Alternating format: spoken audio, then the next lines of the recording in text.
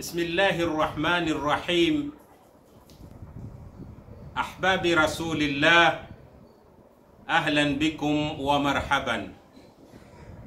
يا ربي فقهنا في الدين وعلمنا التأويل. والحمد لله رب العالمين. Tukiwa katika masiku ambayo kwamba ni masiku matukufu ambao ni masiku kumi ya Dhulhijja,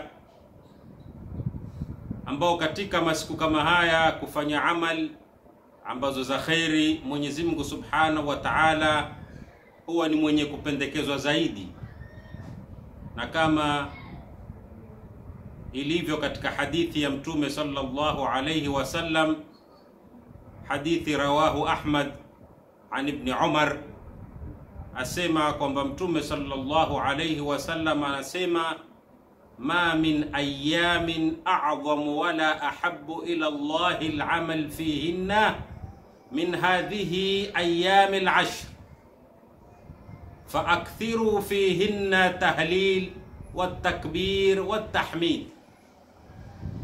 Mtume sallallahu alayhi wasallam asema hamna masiku bora, hamna masiku ambayo kwamba daraja yake iko kubwa zaidi na amali mwenye kuzifanya katika miezi kama hini ndio zenye kupendekeza zaidi kuliko masiku mengine mbele ya Mwenyezi Mungu Subhanahu wa Ta'ala, min hadhihi ayami al-ashra, kuliko hizi siku kumi. Kwa hivyo siku kumi hizi ni bora kufanya amali mbele ya Mwenyezi Mungu Subhanahu wa Ta'ala, ndio zenye kupendekeza zaidi kuliko masiku mengine. Kisha Mtume sallallahu alayhi wasallam, moja katika amali mzuri ya kufanya katika masiku kumi kama haya, atuambia faakthiru fihinna, tukithirishe katika siku hizo kumi atahlil, tulete atahlil ambayo ni la ilaha illa Allah, watakbiri, na tulete takbiri ambayo ni Allahu akbar watahmidi na tulete alhamdulillahi, tukithirishe yani kumtaja Mwenyezi Mungu Subhanahu wa Ta'ala na kuleta dhikrullah katika siku hizi kumi. Kwa hivyo ni siku bora ambazo kwamba atuambia Mtume sallallahu alaihi wasallam, nayo atuhusia Mtume tukithirishe dhikri katika siku hizi kumi ambao ni siku bora. Ndugu mtazamaji, tukiingia katika kikao chetu ambao ni kikao cha fiqhi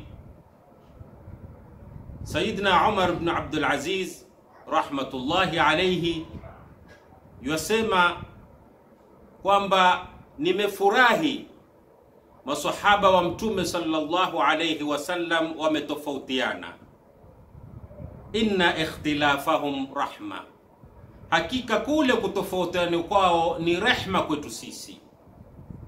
Umar ibn Abdul Aziz yuwafurahikia kwamba masahaba wa mtume sallallahu alayhi wasallam wametofautiana katika masala ya dini, na kisha atwambia inna ikhtilafahum rahma, hakika kule kutofautiana kwao ni rehma kwetu sisi, ni rehma kwa umma. Naam, ni kweli ni rehma kwa umma kutofautiana kwa masahaba na kwa wanavyoni mmoja katika uthibitisho kuonesha kwamba ni rahma ni masala ya mwanamke yule alofiliwa na mume wake. Sheria inasema kwamba ni lazima akae eda miezi minne na siku kumi, lakini kati ya hii miezi minne na siku kumi, je, mwanamke kama yule yuafaa kutoka katika zile miezi minne na siku kumi ama ni akae nyumbani mpaka imalizike eda?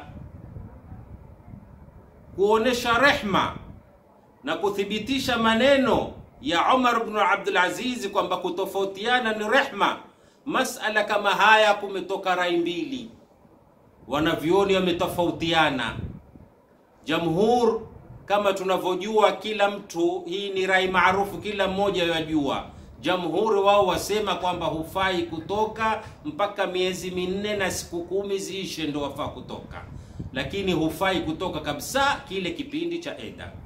Hii ni rai ya jamhur na wako na dalili yao. Rai ya pili ni rai ya nana Aisha, umuna Aisha na Ibnu Abbas na Hasanul Basri na chuo cha Dhahiri. Wao wasema mwanamke yule ambaye kwamba alofiliwa na mumewe kati ya ile miezi minne na siku kumi, wao wasema ta'taddu haithu sha'at wa tusafiru haithu sha'at wa takhruju haithu sha'at. Wao wasema mwanamke kipindi kama kile yuwafaa, hakuna wasiwasi, akitaka kutoka atoke wakati anaotaka, akitaka kukaa eda mahali anapopataka akae pale anapopataka yeye, akitaka kusafiri asafiri anavyotaka yeye, na wako na dalili yao. Haina haja kutaja dalili kwa sababu hapa sio mahali pake, na mada kama hii nishaizungumzia. Kwa yule mwenye kutaka kufaidika, iko kwenye YouTube. Tuko katika kuonesha kwamba ni rahma kutofautiana kwa wanavyoni. Kwa hivyo rai ya pili, wao wasema kwamba mwanamke hana neno, na ukiangalia nao ni mambo ambayo kwamba mantiki yaingia kilini, kwamba wewe mwenyewe mwanamume ukae ndani ya nyumba miezi minne na siku kumi, utakuwa hali gani? Waweza hata ukashikwa na wazimu. Lakini rai ya kwambia kwamba waweza kutoka, ambao ni rehma hini, mwanamke aweza kutoka wakati wa eda pengine yuko na stress, ameondokewa na mume wake, aweza kwenda park yoyote, akenda akajifariji pamoja na wenzake. Kwa hivyo ni rehma. Rai kutofautiana kwa wanavyoni ni rehma. Rai yasema kwamba hufai kutoka na rai yasema wafaa kutoka, na wote wanaosema maneno kama haya ni wanavyoni. Kwa hivyo tumeona maneno ya Umar ibn Abdul Aziz atuambia kwamba inna ikhtilafahum rahma kutofautiana kwao ni rahma, na hii ni moja katika rehma ya kutofautiana wanavyoni. Na dini ya Kiislamu ni dini ya insania, ni dini ya uwanadamu, ni dini ambayo kwamba imempa nafasi mwanadamu awe ni mwenye kufikiria katika masala ya dini, imempa nafasi kwamba wawe ni wenye kujitahidi katika masala ya dini imempa nafasi kwamba baada ya kujitahidi hawawe, wanaweza kutofautiana, hawa wakawa na rai yao na hawa wakawa na rai yao, na wote wako sawa. Hadithi ambayo kwamba ni mashhur ambayo iliyoko kwenye Sahihi Muslim na Sahihi al-Bukhari, ambayo ni kiswa maarufu. Mtume sallallahu alayhi wasallam alipotoka vita vya Ghazwat Khandak aliporudi Madina pamoja na masahaba, baada ya muda kidogo, Mtume sallallahu alaihi wasallam akawaamrisha masahaba waende Bani Quraidha. Bani Quraidha ni Mayahudi waliokuwa wakiishi nje ya Madina. Mtume sallallahu alaihi wasallam akaamrisha jeshi liende Bani Quraidha. Kabla ya kuondoka jeshi, Mtume sallallahu alaihi wasallam aliwaambia masahaba zake ala la yusalliyanna ahadul asr illa fi bani quraiba, aliwaambia asiswali yoyote mmoja wenu isipokuwa mtakapofika Banu quraiba Na waonesha kwamba hata wakati wa mtume sallallahu alaihi wasallam na mtume mwenyewe yuko, masahaba walitofautiana. Mtume alipowaambia hivyo kwamba asiswali yoyote mpaka mtakapofika Bani Quraidha, jeshi likatoka likaelekea Bani Quraidha. Katikati ya njia wakafikia, ukawa umefikia wakati wa swala ya alasri, mpaka yataka kutoka alasri. Baadhi ya jeshi ya maswahaba wakawaambia wenzao kwamba jamani, swala alasri yaisha sasa, tuswalini swala alasiri. Wale baadhi ya maswahaba wakasema la Mtume sallallahu alaihi wasallam ametuambia tusiswali alasiri ila tutakapofika Bani Quraidha. Hawa wakajibu, hawa wengine wakajibu la, Mtume alikuwa hakusudii hivyo. Mtume makusudio yake ni kwamba tuharakishe. Angalia maneno ya Mtume sallallahu alaihi wasallam, ni maneno amezungumza kwa lugha ya Kiarabu nayo wazungumzia Waarabu, lakini angalia maneno yale yale, makundi yamekuwa ma, mawili na kila mmoja amefahamu kivyake yale maneno ya Mtume sallallahu alaihi wasallam. Kundi limefahamu kwamba limetukua ile dhahir dhahiri nafsi, wao wakasema Mtume amesema tusiswali alasiri mpaka atakapofika Bani Quraidha. Wengine wakasema la, makusudio ya maneno ya Mtume ni kwamba tuharakishe. Kukawa na makundi mawili, wale ambao kwamba walosema kwamba Mtume alikuwa anakusudia tuharakishe, wakaswali. Baadhi ya masahaba hawakuswali, wakawangoja wenzao, wala hawakuteta wala hawakulaumiana wala hawakukosoana, bali waliwasubiri wakaswali wenzao. Baada ya kuswali wakatoka wakaelekea Bani Quraidha. Wale ambao hawajaswali wakaswali asri, ikawa imeingia wakati wa usiku. Mtume sallallahu alaihi wasallam akapata habari hizi. Alipopata habari kama hizi, aliangalia kundi hili na akaangalia kundi na lingine lile la pili, na hakulaumu mtu yoyote. Hii ni moja katika dalili kuonesha Mtume sallallahu alaihi wasallam, watu watakapokuwa wamejitahidi wakatofautiana katika ufahamu wa aya ama hadithi, hakuna kulaumiana wala hakuna kuteta wala hakuna kusema wewe huna elimu, mimi ndo na elimu, mimi nafahamu, mimi sifahamu, mimi ni mutakhasis. La, wewe la, haina haja maadamu mmefahamu tofauti na mimi, basi tukubaliane kama Mtume sallallahu alaihi wasallam alivyofanya.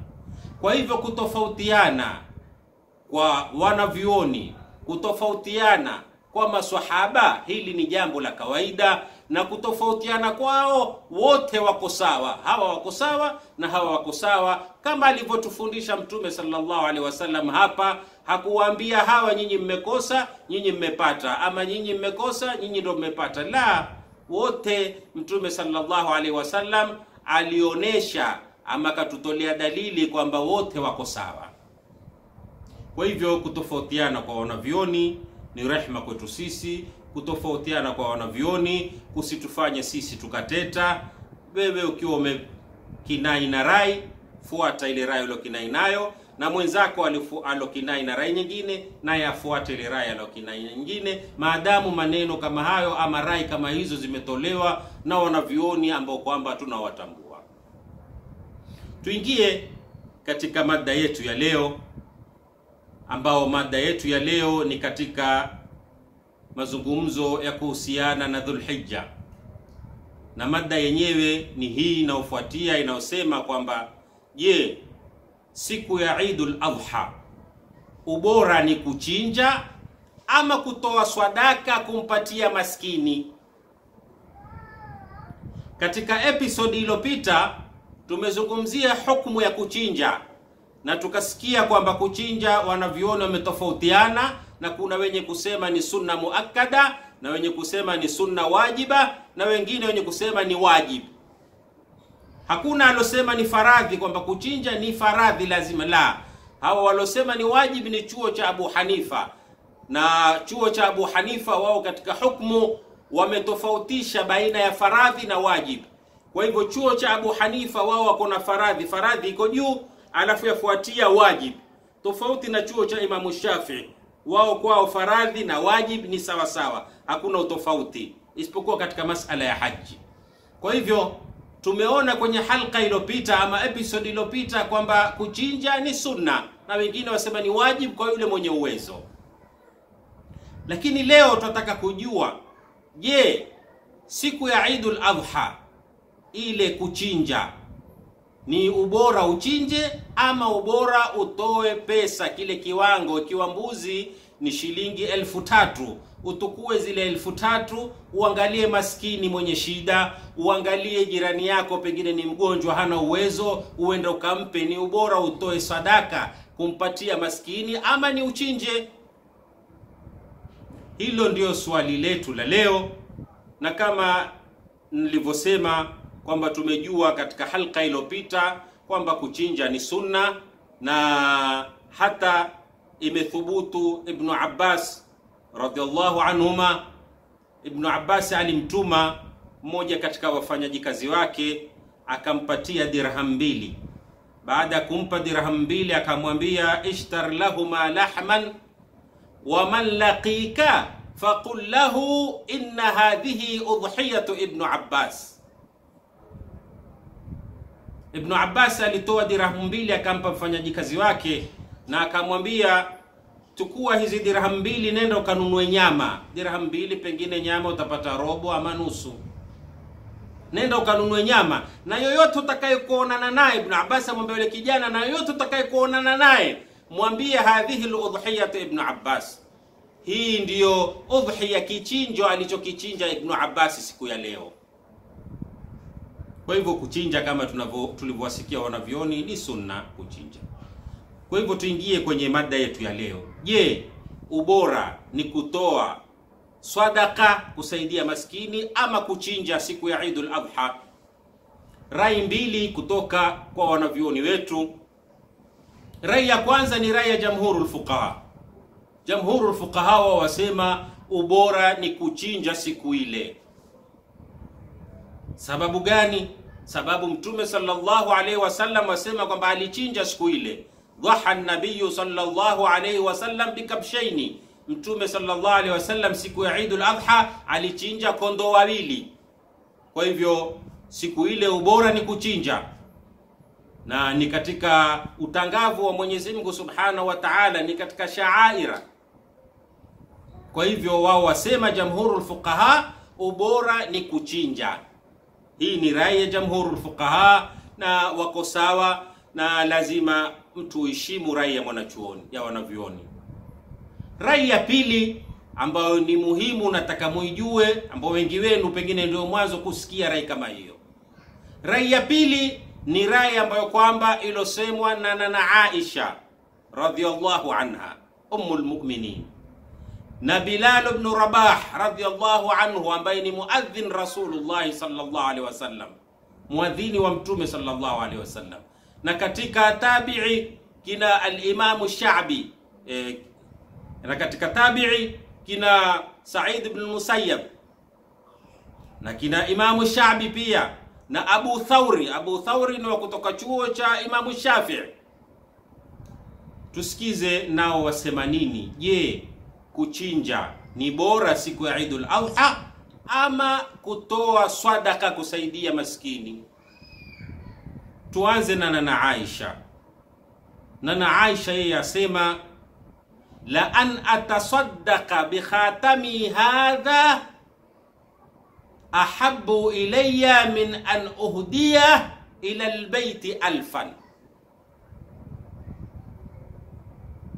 Nana Aisha asema kutoa swadaka kwa pete yangu hii ahabbu ilayya ni ubora kwangu mimi, yani ni bora zaidi na napendekezwa zaidi, min an uhdia ila albayti alfan, kuliko kuchinja kwa hadi alkaaba ngamia elfu moja. Yani nana Aisha asema ubora kwake yeye ni atoe swadaka ile pete yake ya dhahabu amsaidie mtu. Kuliko kuchinja ngamia mia moja kwa ajili ya Alkaaba, yani kulisha watu walioko kwenye Alkaaba ambao ni mafukara, ambao hii ni hadi. Sasa pengine utasema kwamba nana Aisha azungumzia masala ya hadi, lakini sisi tuko kwenye udhiya. Jawabu utajibiwa na Imamu Shafii ambaye asema kwamba alhadi a'dhamu min aludhiya. Imamu Shafii asema alhadi a'dhamu hadi ni kwenda kuchinja kwa ajili ya Alkaaba, kulisha maskini, kulisha mafukara katika Alkaaba. Asema Imamu Shafi kwamba ni ubora zaidi kuliko kuchinja. Kwa hivyo nana Aisha hapa asema kuhusu kuchinja kwa Alkaaba, kuwapelekea maskini Alkaaba ngamia mia, asema ubora nitoe sadaka hii pete yangu kuliko kuchinja kwenye Alkaaba. Msikize naye muadhin Rasulullah sallallahu alayhi wasallam naye yasema nini. Bilal bin Rabah radhiyallahu anhu yeye asema la an akhudha bithamani ludhiya, asema nichukue thamani ile gharama ya kule kuchinja, faatasaddaqu ala faatasaddaqu bihi ala almiskin, na nikatoa sadaka kuwapa maskini. Ahabu ilayya min an udahi, ni bora kwangu mimi kuliko kuchinja. Mara ya pili, Bilal ibn Rabah asema la an akhudha thamanan udhiya, asema kuchukua thamani gharama, ikiwa pengine mbuzi ni elfu tatu ama kondoo ni elfu tatu kuchukua ile thamani yake, wa atasaddaqu bihi ala miskini, na nimpe sadaka maskini, ni ubora kwangu mimi, yani na yanipendekeza zaidi kwangu mimi kuliko kuchinja. Naye Imamu Shabi naye wasema la an atasaddaqa bi thalathati darahim ahabbu ilayya min an udhahi, Asema Alimamu Shabi ni moja katika wanavyuoni wakubwa, asema la an atasaddaka, yani ni kutoa sadaka dirhamu tatu, ni sadaka nimpatie maskini, ni ubora kwangu mimi kuliko nichinje. Kwa hivyo tumeona kwamba rai ya kwanza ya jamhuri wao wasema kwamba ubora ni kuchinja. Rai ya pili ya kina nana Aisha wao wasema kwamba nana Aisha na Bilal na Imamu Shabi na Abu Thauri na Said ibn al-Musayyab wote hawa wasema kwamba ubora ni utoe swadaka umsaidie mtu siku ile. Kwa hivyo yule atakayeona rai ya jamhurul fuqaha amekinai na rai yao ahlan wa sahlan. Yule atakayeona kwamba rai ya nana Aisha na kina Bilal kwamba kutoa swadaka ni ubora siku kama ile kuliko kumpa maskini, kumpa kuliko kuchinja, pia ahlan wa sahlan. Hawa ni wanavyoni, hawa ni wanavyoni hawa. Kuna maswahaba na rai ile, nao kuna maswahaba pia wameafikia rai kama ile. Kwa hivyo hakuna kuteta, ni wewe uangalie rai gani ambayo umekinai nayo na ufuate rai kama ile bila wasiwasi wowote. Hizi zote unazosikia ni rai za wanavyoni, na rai zote kutofautiana kwao kote ni kumoja, hakuna wasiwasi wowote, kwa sababu wote wako katika njia ya uongofu ambao njia anayoitaka Mwenyezi Mungu Subhanahu wa Ta'ala. Wa ila liqa'in akhar bi mashi'atillah. Wassalamu alaykum wa rahmatullahi wa barakatuh.